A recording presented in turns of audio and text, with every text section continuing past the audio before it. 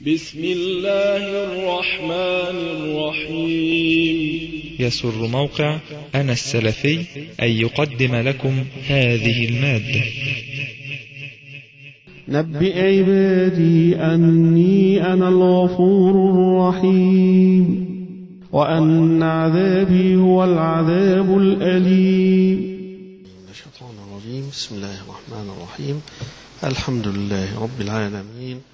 وأشهد أن لا إله إلا الله وحده لا شريك له وأشهد أن محمدا عبده ورسوله.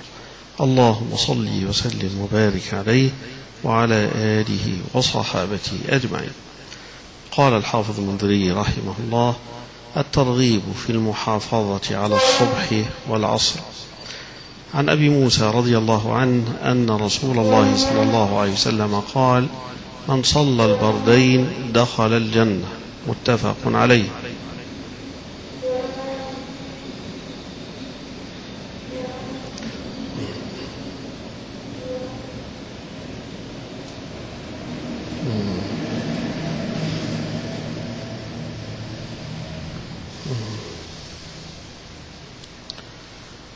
وعن عمارة بن رويبة قال سمعت رسول الله صلى الله عليه وسلم يقول لن يلج النار أحد صلى قبل طلوع الشمس وقبل غروبها يعني الفجر والعصر. رواه مسلم. وعن أبي مالك الأشجعي رضي الله عنه عن أبيه رضي الله عنه قال قال رسول الله صلى الله عليه وسلم من صلى الصبح فهو في ذمة الله وحسابه على الله رواه الطبراني في الكبير والأوسط. وهذه جملة من الأحاديث يذكرها الحافظ المنذري رحمه الله في الترغيب والترهيب. في باب الترغيب في المحافظة على صلاة الصبح والعصر. صلاتان عظيمتان. من حافظ عليهما فهو أولى بالمحافظة على باقي الصلوات. فلذلك حث النبي صلى الله عليه وسلم عليهما على صلاة الصبح وعلى صلاة العصر. في وقت الصبح يكون الإنسان في بيته ولعله في الشتاء ولعله تحت الغطاء وفي غاية البرودة ولا يريد أن يخرج من فراشه. ثم يؤذن المؤذن لصلاة الصبح. يقوم ويتوضأ والماء بارد فمشقة على الإنسان. بهذا دليل على قوة الإيمان.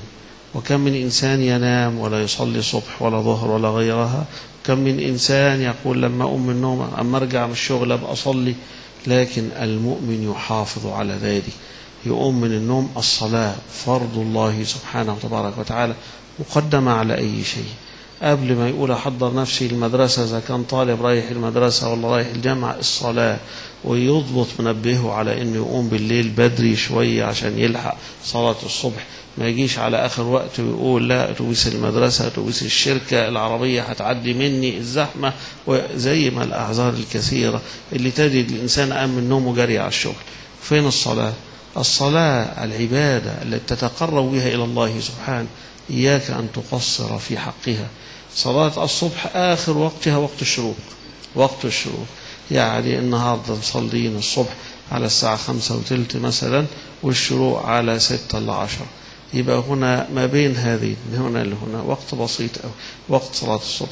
فيش حاجة اسمها صلاة الصبح أصليها في الضحى. ما ينفعش. لو تعمدت فقد ضيعت الوقت انتهت الصلاة خلاص. يبقى تصلي الآن قضاء الله أعلم يقبلها أو لا يقبلها منك. هذه الصلاة. ليست في وقتها. الصلاة إن الصلاة كانت على المؤمنين كتابا فرضا موقوتا محدود الطرفين. له أول وله آخر. لكن إذا كان بعذر من الأعذار الشرعية إنسان نام ما أمشي من النوم له عذر. طالما أنه أخذ في الأسباب.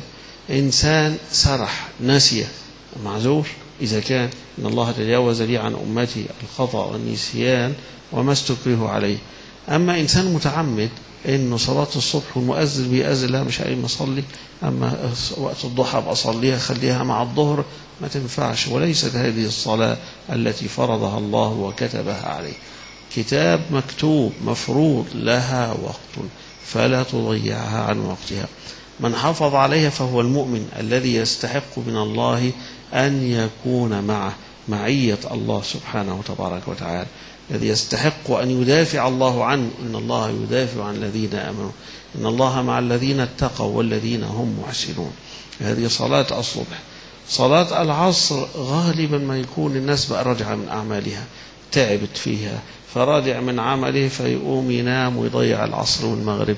أو إنه ما, ما يصليش مع تعبه يكسل عن ذلك. يهتم لأمر آخر لكن أمر الصلاة يتشاغل عنه. لكن المؤمن لا, لا يضيع لا هذه الصلاة ولا هذه الصلاة وخاصة لما علم أن في هذين الوقتين بالذات يبقى ملائكة الليل والنهار في وقت الفجر ملائكة الليل والنهار في وقت العصر يتعاقبون فيكم في هاتين الصلاتين. يبقى يكثر الشهود والإنسان الذي يفعل الشيء الذي يخاف من الله عز وجل فيه يوم هيكتر على نفسه الشهود.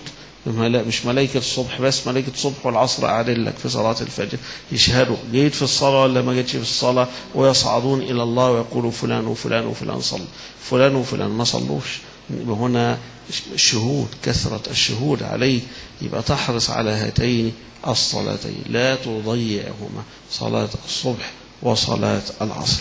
فشوف في الحديث من صلى البردين البردين مسمى برد يعني انه الوقت يبقى فيه برودة شوية وقت الصبح وأيضا وقت العصر يكون عدى وقت الهجير بتاع الظهر وشدة الحرارة وبدأ يرطب شوية سميت البرد هذه صلاة البرد وهذه صلاة من صلى البردين دخل الجنة دخل الجنة. يبقى هنا وعد من الله سبحانه على لسان النبي صلى الله عليه وسلم في المحافظ مش صلى مرة وخلاص مش صلى كل أسبوع مرة لا صلى البر يحافظ على هذه الصلاة. لا يضيع الفجر ولا يضيع صلاة العصر. طب معناه يضيع غيرها؟ لا ما يضيعش غيرها. بس اللي بيواظب على دول بالذات بيبقى له منزلة له منزلة. ويبقى معروف إن هذا الإنسان انه محافظ على هاتين الصلاتين صلاة الفجر وصلاة العصر اللي يظهر فيها قوة المسلمين في وقت الفجر إنه كادوا للشيطان وقاموا فلم يضيعوا.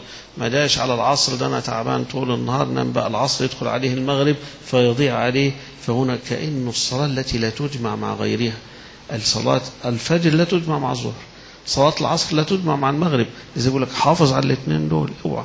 فإن صلاة الظهر قد تجمع مع العصر لأن مع العذر يجوز الجمع مع المطر مع شدة الواحة غيرها قد تجمع الظهر مع العصر. تجمع المغرب مع العشاء مع مع السفر مع المطر مع الوحل في الأرض قد لكن العصر ما تجمعش مع المغرب أبدا. الصبح ما يجمعش مع الظهر أبدا. يبقى على ذلك اللي يحافظ على الاثنين كأنه حافظ على أوقات الصلوات صلاة الصبح وصلاة العصر. يبقى يستحق من الله هذا الوعد العظيم أنه يدخل الجنة. لا ده كمان لن يلد النار. مش داخل النار مش داخل النار؟ أحد صلى قبل طلوع الشمس وقبل غروبها شفته بقى. صلى قبل الطلوع وقبل يعني ما جمعش ما جمعش الصبح على الظهر. ما جمعش العصر على المغرب صلوات لا تجمع مع التي بعدها. لا لا تجمع. الفجر لا مع اللي قبلها ولا مع اللي بعدها العصر تجمع مع التي قبلها أحيانا لكن إنه ده العصر فنام وفوتها أو تعمد لذلك وبعدين إنه لما قام ما صلاش لغاية ما دخل المغرب هنا لا ما دخلش في هذا الوعد من النبي صلى الله عليه وسلم. طيب والمعنى إن تواظب على الفجر وتواظب على العصر وبس كده وتدخل الجنة؟ لا لا مش بس كده وتدخل الجنة. ده معناه دي علامة علامة. اللي بيواظب على الفجر وبيواظب على العصر علامة على إنه مؤمن.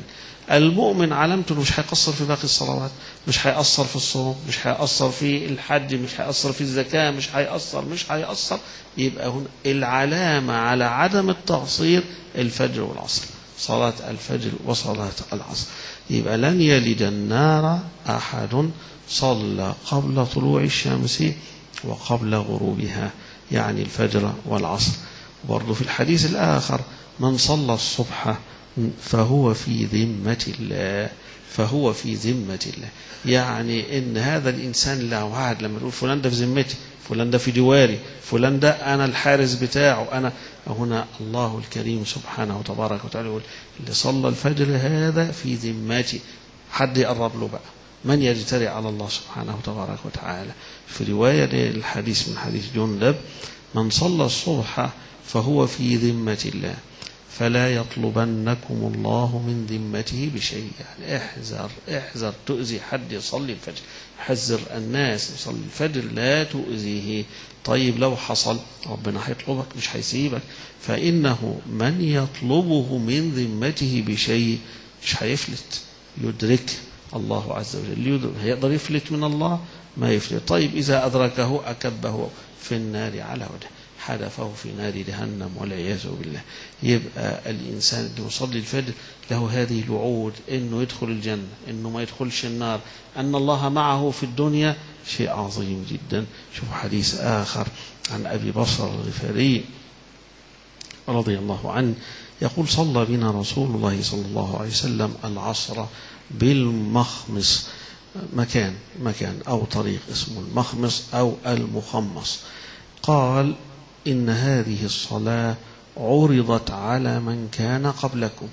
هذه صلاة العصر يبقى اللي قبلنا كانوا بيصلوا برضه زي ما كتب عليكم الصيام كما كتب على الذين من قبلكم. كذلك الصلاة وصلاة العصر بالذات كتبت على الذين من قبل عرضت على من كان قبلكم فضيعوها. زي ما ضيعوا الصيام كذلك هذه الصلاة ضيعوا هذه الصلاة.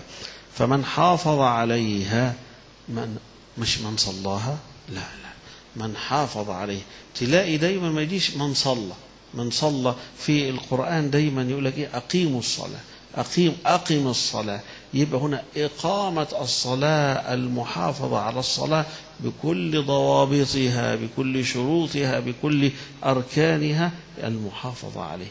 كذلك هنا يقول لنا صلى الله عليه وسلم فمن حافظ عليها كان له أجره مرتين.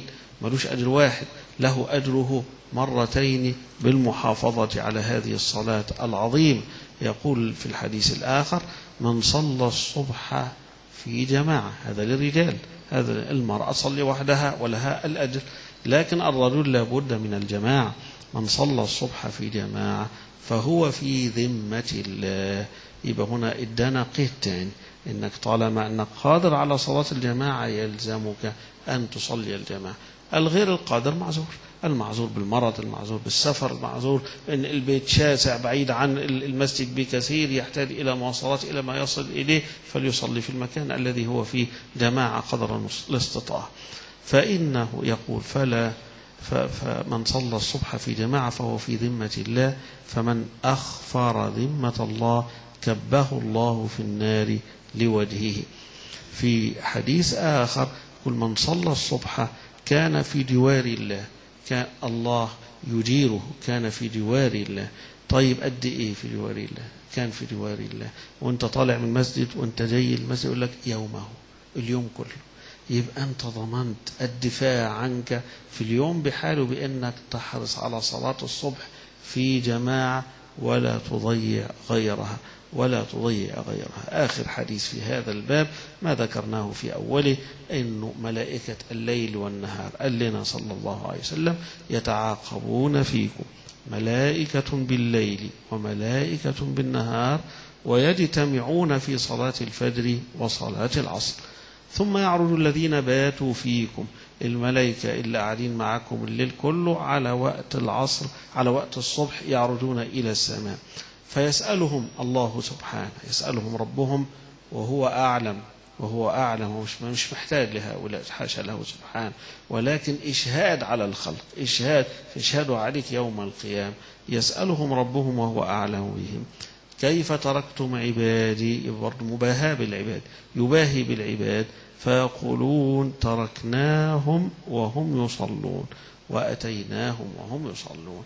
يعني بيصلوا جينا لهم العصر كانوا بيصلوا قعدنا معاهم للفجر وكانوا مصلين طلعنا بعد الفجر.